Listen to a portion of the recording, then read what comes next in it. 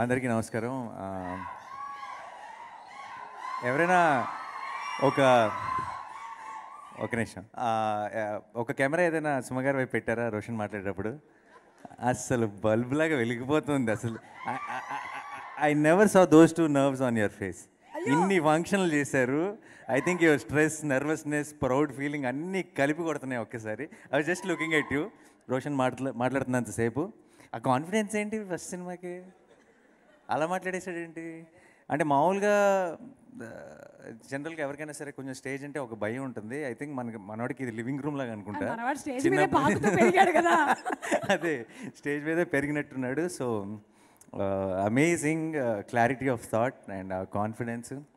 మీకు నాకు తెలిసి ఈ స్పీచ్ తర్వాత మీకు ఒక- రకమైన బరువు దిగిపోయి ఉంటుంది మీకు. సగం పని అయిపోయి ఉంటుంది. యా. ఏం మాట్లాడతాడో తెలియదు అందుకని. చిన్న భయం ఉంటుంది కదా. So but I'm so happy to be here today.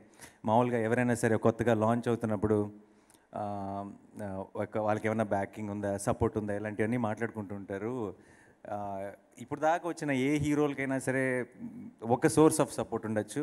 But I think రోషన్కి entire film industry and entire audience support ఉంటుంది. Because Suma garu is family for everyone Rajeevan is family for everyone ఇన్నేళ్ళ నుంచి almost కలిసి journey ఇది. So every హీరోకి అందరికీ కూడా it's almost a family affair this is. And we all నాకు teaser చూసిన వెంటనే I felt very proud.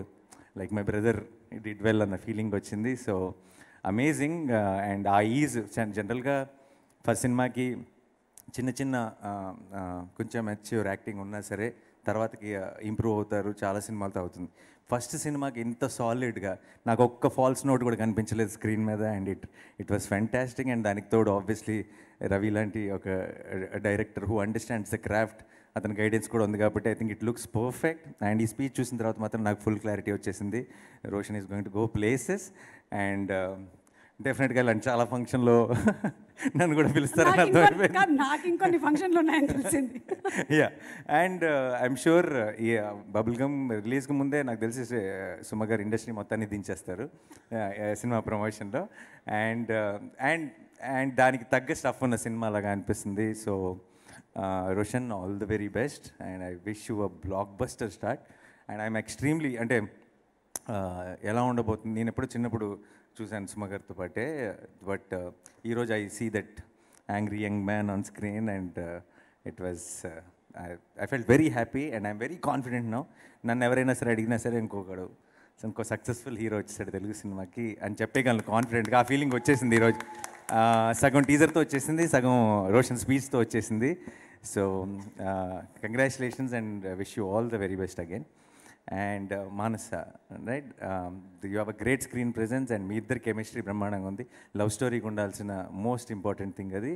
All the very best you and congratulations in advance and Ravi Ravikanth నాకు ఎప్పటి నుంచో పరిచయం. అండ్ నాకు అతని దగ్గర బాగా ఒక నచ్చే విషయం ఏంటంటే ఏ డైరెక్టర్ అయినా సరే ఒక bigger and bigger and bigger chances కోసం చూస్తారు. వెన్ పర్టికులర్లీ వాళ్ళు వాళ్ళకి పొటెన్షియల్ ఉంది టాలెంటెడ్ అని తెలిసినప్పుడు ఇంకొక పెద్ద ఆప్షన్కి వెళ్తారు. రవికాంత్ అనోడిని నేను ఫస్ట్ నుంచి చూసింది ఏంటంటే రవికాంత్కి ఒక స్టార్ డేట్స్ ఒక కొత్త వాళ్ళ డేట్స్ ఉండి స్టార్కి సంబంధించిన కథ సెవెంటీ పర్సెంట్ మాత్రమే అయింది బట్ కొత్త వాళ్ళకి సంబంధించిన కథ హండ్రెడ్ పర్సెంట్ అయిందంటే ఈ విల్ గో విత్ కొత్త వాళ్ళు.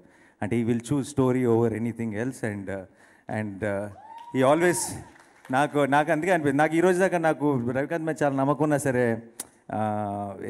లాస్ట్ టైం నేను కలిసినప్పుడు కూడా తన ఐడియాస్ కూడా నాకు నచ్చినాయి అండ్ ఉన్నా సరే ఏంటి రవి ఏంటన్నా ఏదైనా వచ్చి ఒక కథ చెప్పని ఈ రోజు దాకా నేను అడగలేదు. ఎందుకు అడగలేదంటే నా కోసం కథ ఉన్న రోజు నా దగ్గరికి వస్తాడని కన్ఫామ్గా తెలుసు. సో అలాంటి క్లారిటీ కొంతమంది డైరెక్టర్స్కి మాత్రమే ఉంటుంది and and he wants to tell his own stories he want his voice to be heard and I think అది కనిపిస్తుంది.